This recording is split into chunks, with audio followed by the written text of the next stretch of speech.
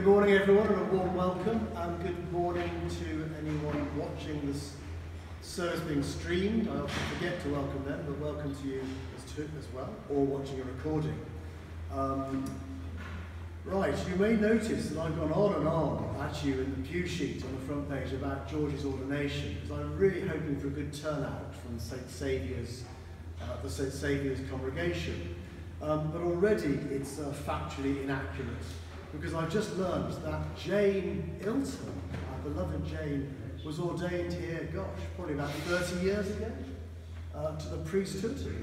So, so yeah, um, so actually ignore that bit, but, but please still come on uh, that Monday, the 1st of July at 7.30.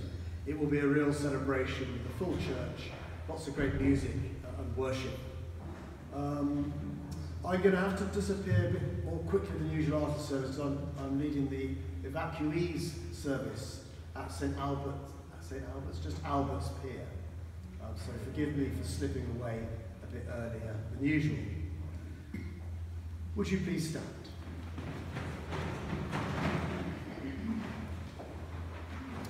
The Lord be with you. Our first hymn, hymn 209.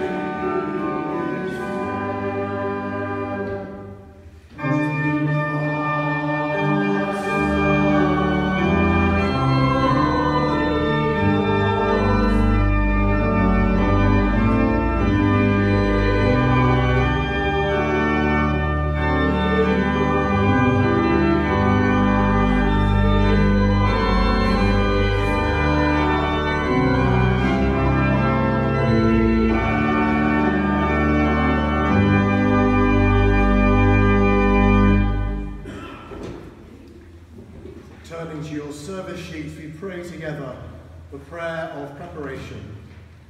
Let us pray.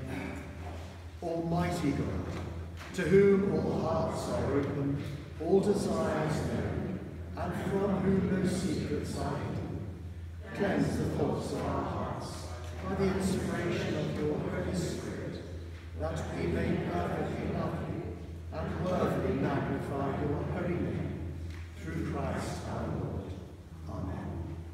Our Lord Jesus Christ said, The first commandment is this Hear, O Israel, the Lord our God is the only Lord. You shall love the Lord your God with all your heart with all your soul, with all your mind, and with all your strength. The second is this love your neighbour as yourself. There is no other commandment greater than these. On these two commandments hang all the law and the prophets.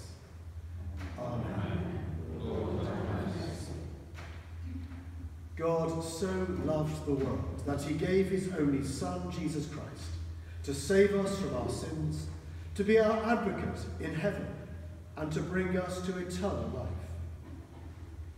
Let us confess our sins in penitence and faith, firmly resolved to keep God's commandments and to live in love and peace with all.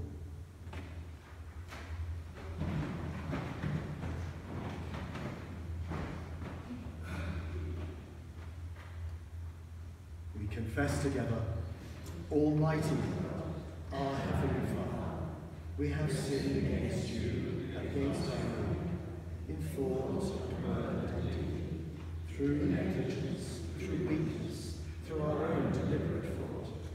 We are truly sorry and repent of all our sins. For the sake of your Son, Jesus Christ, who died for us, forgive us all that is past, and grant that we may serve you in newness of life, to the glory of your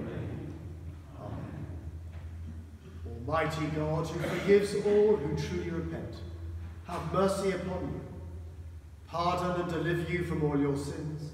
Confirm and strengthen you in all goodness, and keep you in life eternal. Through Jesus Christ our Lord. Amen.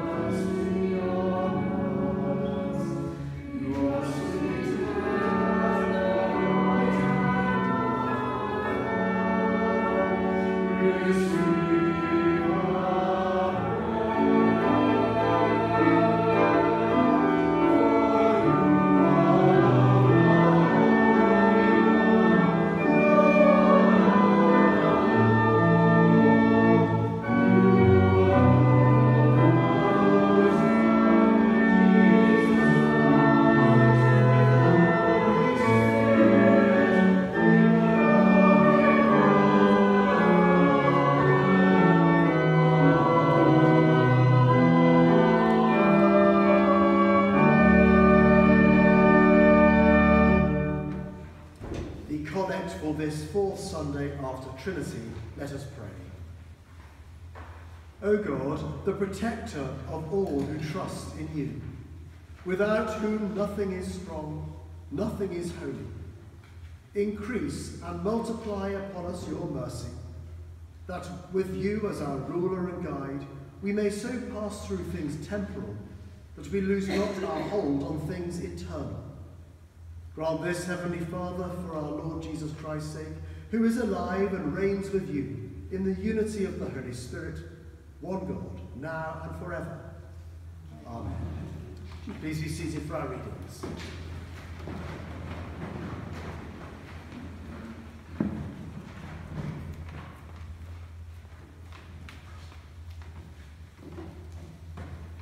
The Old Testament reading is taken from the book of Job, chapter 38, verses 1 to 11. Then the Lord answered Job out of the whirlwind Who is this that darkens counsel by words without knowledge? Gird up your loins like a man. I will question you, and you shall declare to me. Where were you when I laid the foundation of the earth? Tell me if you have understanding. Who determined its measurements? Surely you know or who stretched the line upon it? On what were its bases sunk? Who laid its cornerstone? When the morning stars sang together and the heavenly beings shouted for joy? Or who shut in the sea and with doors when it burst out from the womb? When I made the clouds its garment and thick darkness its swaddling band and prescribed bounds for it and set bars and doors and said, Thus far you shall come, and no further. Here shall your proud waves be stopped. This is the word of the Lord.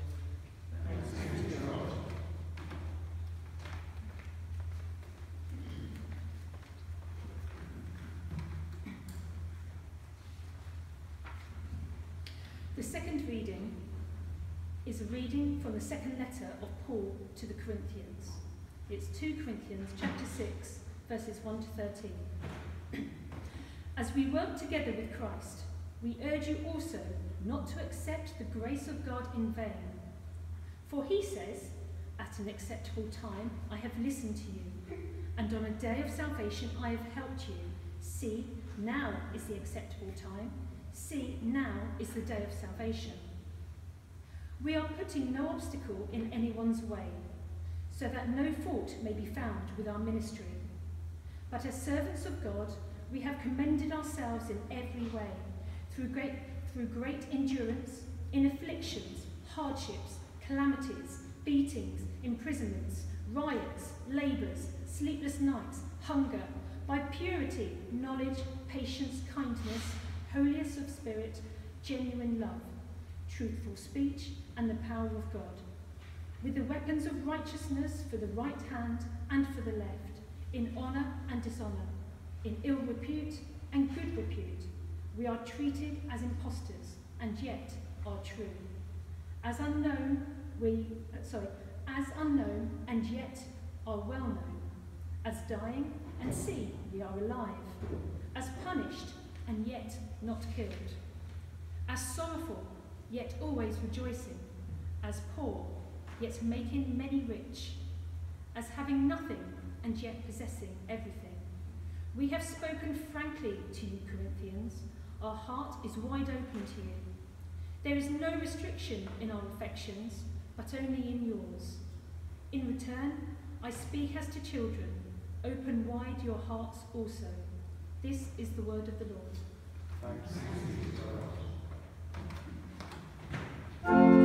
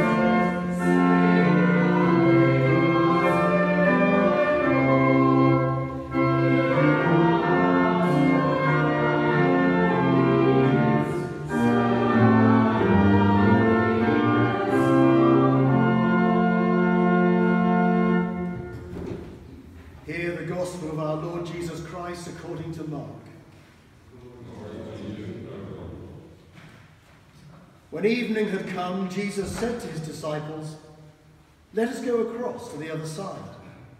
And leaving the crowd behind, they took him with them in the boat, just as he was. Other boats were with him. A great gale arose, and the waves beat into the boat, so that the boat was already being swamped. But he was in the stern, asleep on the cushion. And they woke him up and said to him, Teacher, do you not care that we are perishing? He woke up and rebuked the wind and said to the sea, Peace, be still. Then the wind ceased and there was a dead calm. He said to them, Why are you afraid? Have you still no faith? And they were filled with great awe and said to one another, Who then is this that even the wind and the sea obey him? This is the gospel of the Lord. Praise to you, Christ. May my words and our thoughts be acceptable in your sight, O Lord, our strength and Redeemer. Amen. Please have a seat.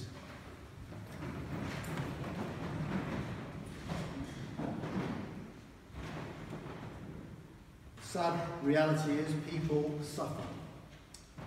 Don't need reminding. Indeed, it often seems um, that good and innocent and righteous people suffer, sometimes horribly, whereas the guilty succeed, the evil prosper.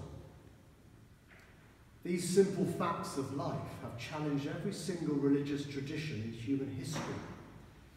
And they have all had something to say about human suffering, about what it means and where it comes from, and how we are best to deal with it. We want to know why, don't we? We want reasons and we want it all to make sense. The theological word for this paradox is theodicy. Now, one of the answers that our tradition offers is that in spite of appearances, there really is a direct connection between our behaviour and our fate. Good things happen to good people, bad things happen to bad people. It's a very attractive way of looking at life because it appeals to our sense of justice. It offers an explanation that appears to make sense. Also, this formula can be found in many places in the Bible.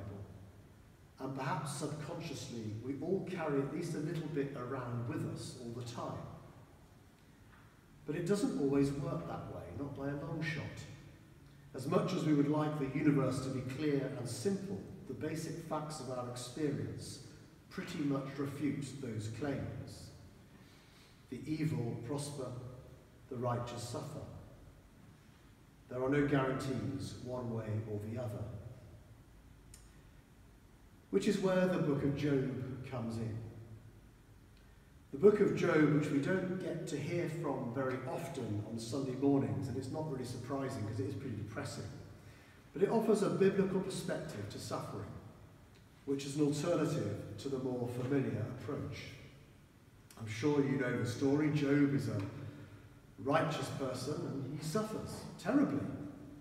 All sorts of really horrible things just rain down on him and his family, and Job wants to make sense of all this pain, his loss, and his humiliation. So he asks, why? Over and over and over. And bless him, Job insists on telling the truth. He's a good man. Several of Job's religiously minded friends come by to talk to him about this, and they all say different versions really of the same thing. They all insist that the world makes sense, that God is fair, so if Job is suffering, it must be his fault, he must deserve it. And that is the traditional orthodox response. This is what religious people were, perhaps are, supposed to believe. But Job isn't buying the traditional answers. He says he doesn't deserve this, that he's righteous. And he then insists that if anyone is out of line in this whole enterprise, it has to be God and not him. He is angry at God. And I think there's a place for that sometimes. That's the truth as Job sees it and knows it. And he's not going to let go of that truth as he sees it, no matter what his friends say to him, no matter what the religious tradition says. Job wants to know why. This is where today's reading comes in. After insisting that he's innocent and God is to blame, Job once more demands to know why. And the Lord answers Job out of the whirlwind and says, as we heard Andrea read, Where were you? What God says to Job is not comforting, it's not reassuring, and it's not an answer to Job's questions about why these terrible things are happening to him.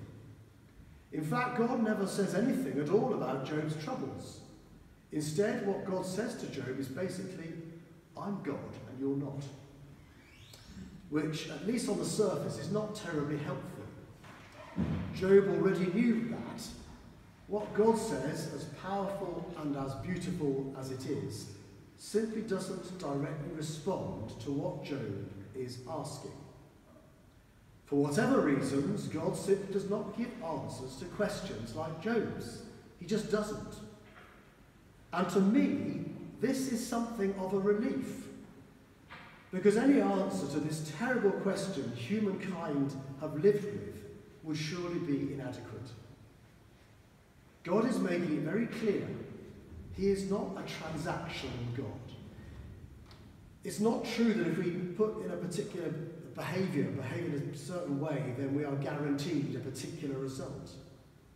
And actually, if you think about it, that's not a good motivation for doing good either. But what is most important for Job and his questions throughout the book of Job, and in fact for us, is not what God said. What is most important is that God spoke to Job. He didn't speak to any of Job's orthodox sounding friends.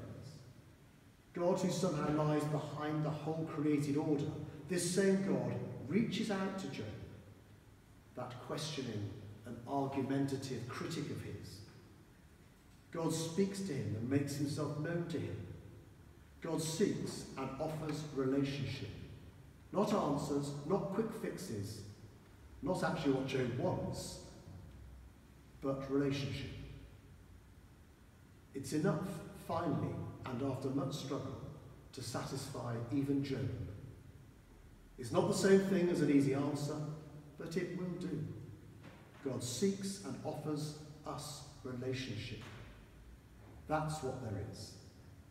That's all there is in this story. Something similar is going on in the story of Jesus rebuking the wind and the storm. In the New Testament, boats are almost always stories about the church, nave. The point here is that Jesus is always in the boat with us. The promise is not that there will be no more storms. The promise is not that the wind and the storm will always stop when we want them to. The promise is not that the disciples will always be safe. That's not the way it is, and Mark knew that perfectly well when he told this story. In fact, the disciples learned pretty quickly that they were not going to be immune from any tragedies in life. In fact, they seemed especially prone to tragedy. And for a long time, it looked like Job would make a perfect patron saint for the early church.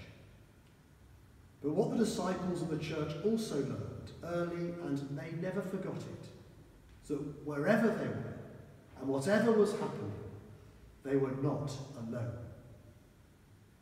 Their Lord was there. He was with them, knowing them and loving them and never letting go. As with Job and the disciples, what the Lord offers us is relationship, his presence and his love. And not answers, even if we want them. Like Job, we have the ear of the one who laid the cornerstone of earth. Like the disciples, we are never alone, no matter what happens to that boat or to us.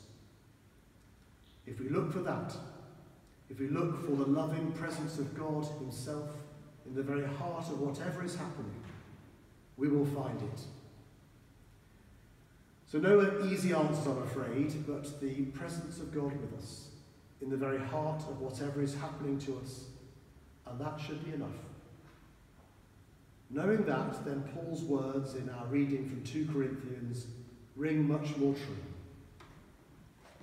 As sorrowful, yet always rejoicing, as poor, yet making many rich, as having nothing, and yet possessing everything. Amen.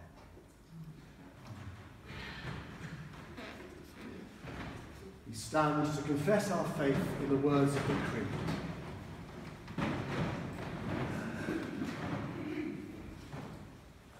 We believe in one God, the Father, the Almighty, maker of heaven and earth, of all that is seen and unseen.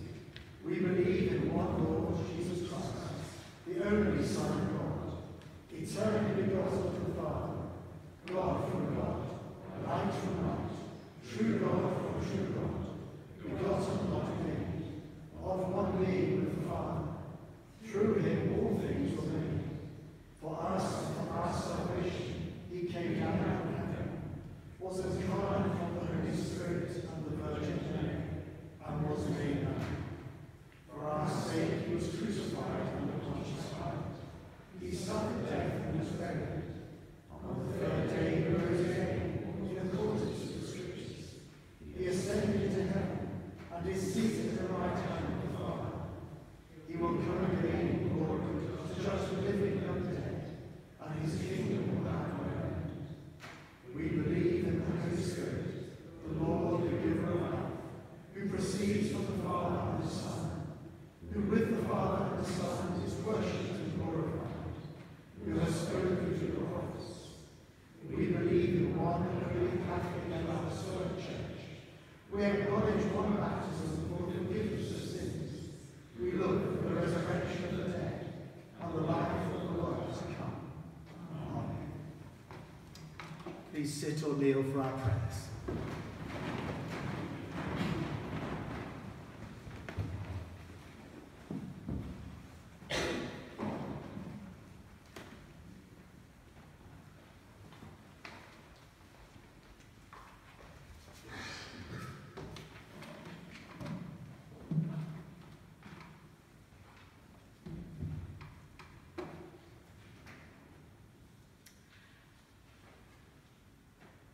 Let us come before God with still hearts as we join together in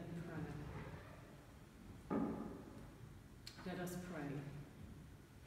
Heavenly Father, we come before you today with our prayers, knowing that you will hear us, help us, and guide us.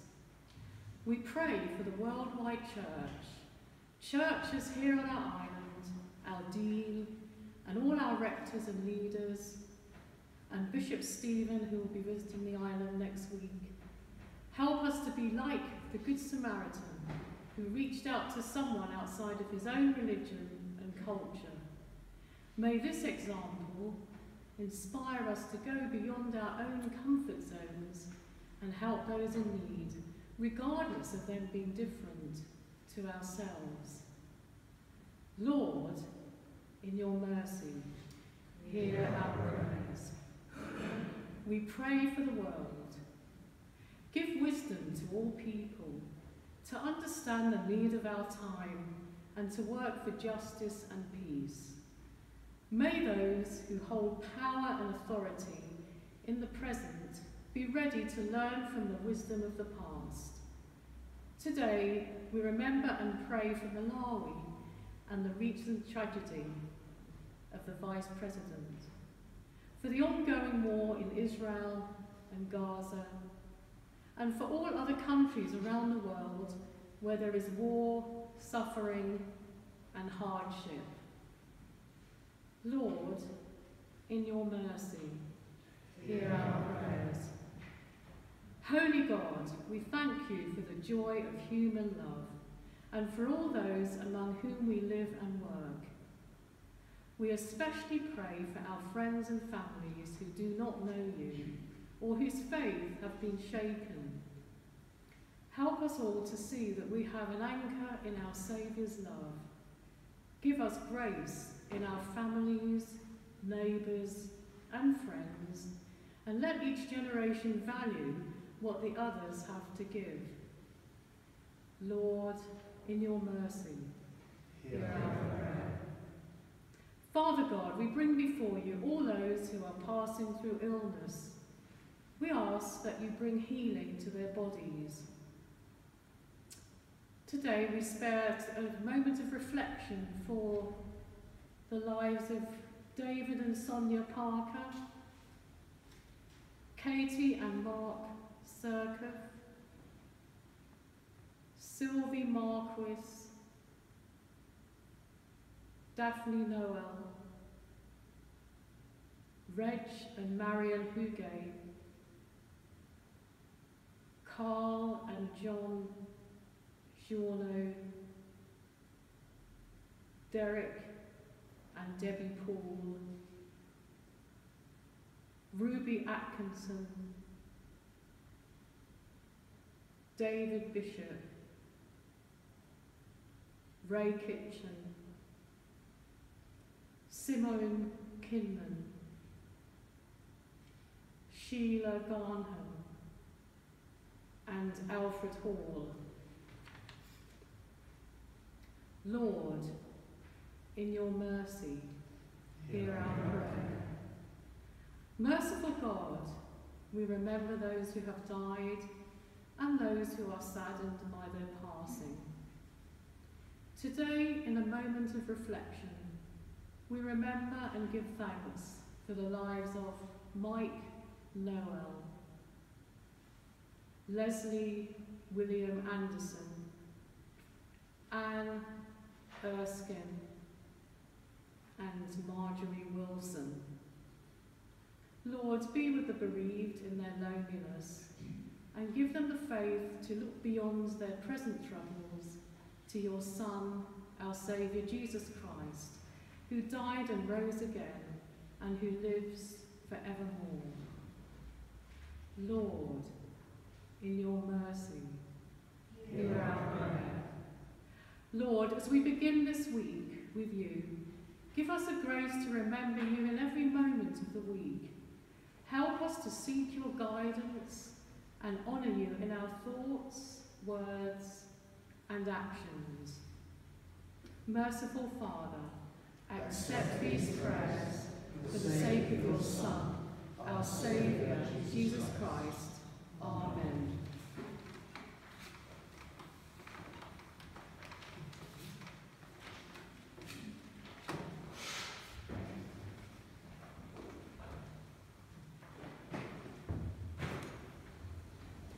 Do you please stand for the peace?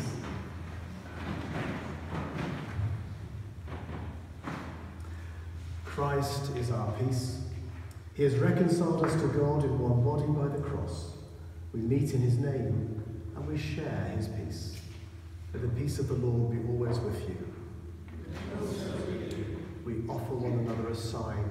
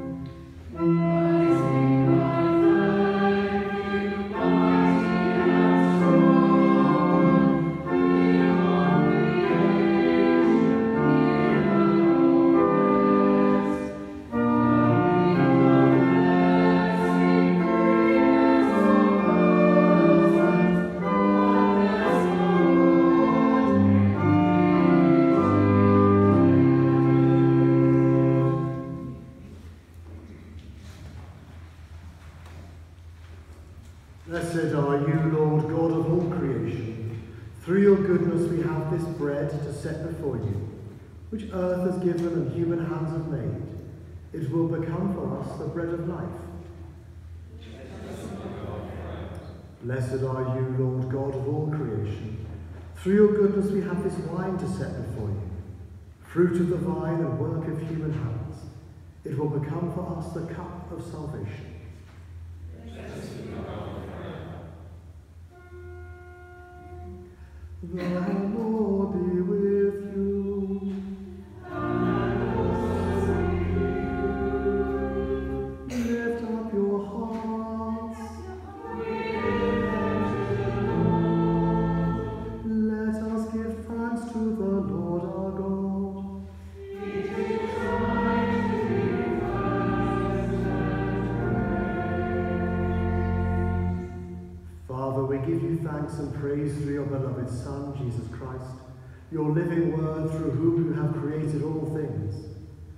Sent by you in your great goodness to be our Saviour. By the power of the Holy Spirit, he took flesh. As your Son, born of the Blessed Virgin, he lived on earth and went about among us. He opened wide his arms for us on the cross. He put an end to death by dying for us and revealed the resurrection by rising to new life. So he fulfilled your will and won for you a holy people.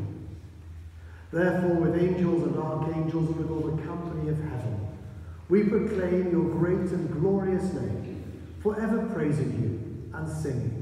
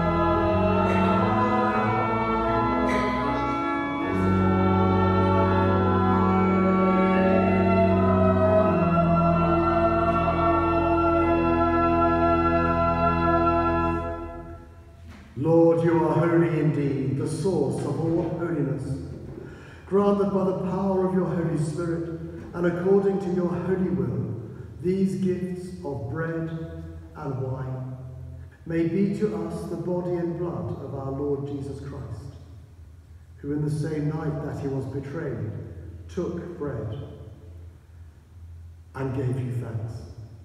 He broke it and gave it to his disciples, saying, Take, eat.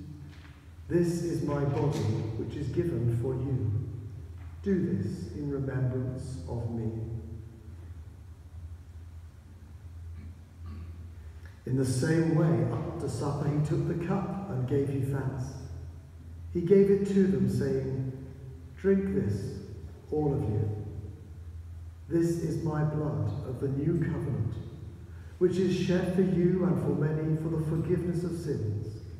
Do this as often as you drink it in remembrance of me.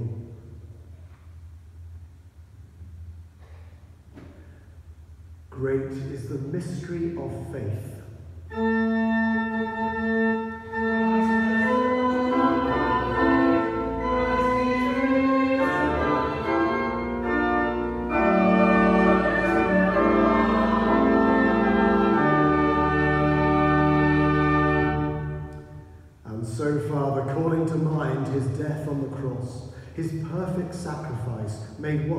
Sins of the whole world, rejoicing in his mighty resurrection and glorious ascension, and looking for his coming in glory, we celebrate this memorial of our redemption.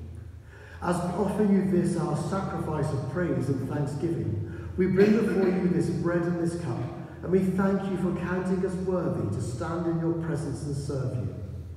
Send the Holy Spirit on your people, and gather into one in your kingdom all who share this one bread and one cup, so that we, in the company of all the saints, may praise and glorify you forever through Jesus Christ our Lord. By and with whom and in the unity of the Holy Spirit, all honour and glory be yours, Almighty Father, forever and ever.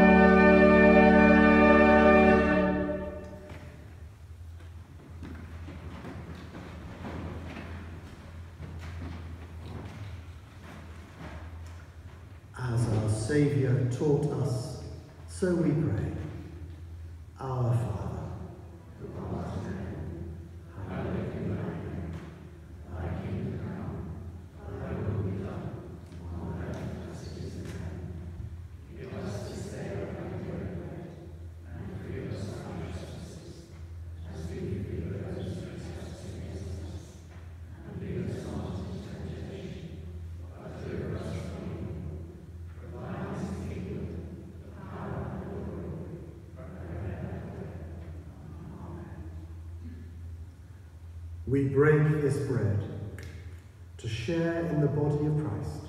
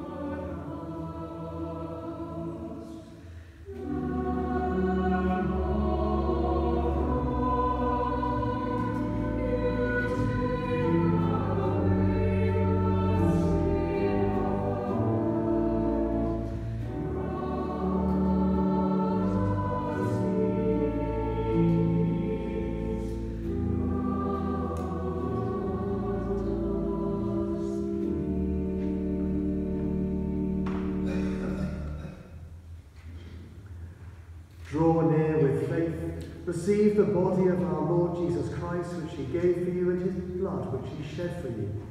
Eat and drink in remembrance that he died for you, and feed on him in your hearts by faith with thanksgiving.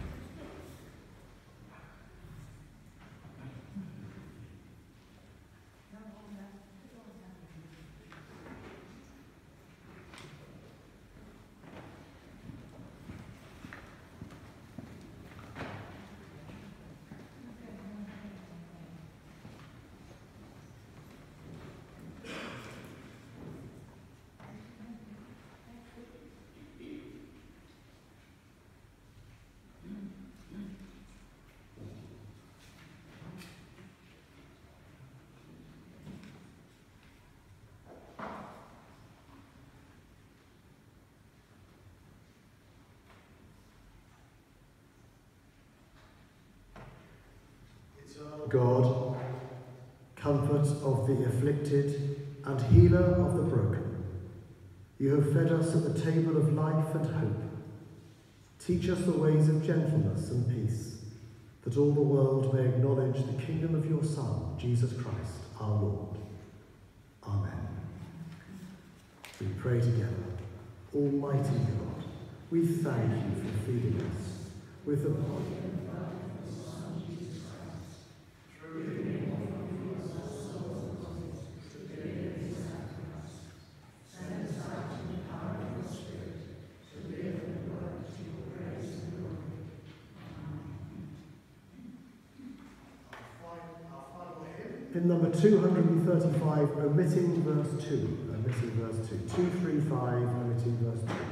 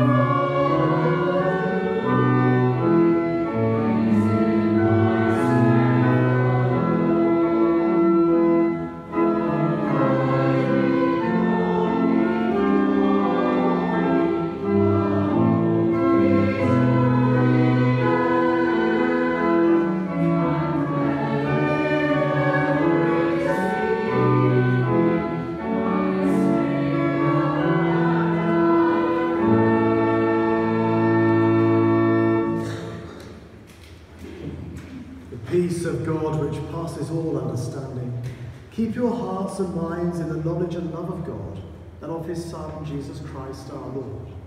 And the blessing of God Almighty, the Father, the Son, and the Holy Spirit be among you and remain with you always. Amen. So we have a birthday. Anne. We've got very good intelligence operatives out there. There's no escape.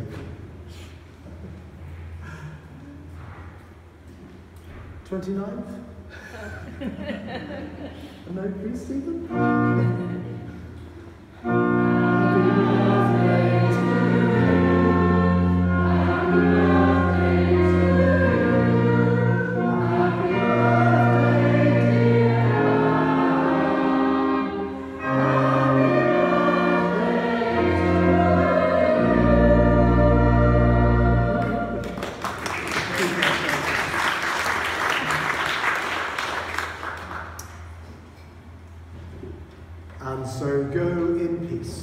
Love and serve the Lord. In the name of Christ. Amen.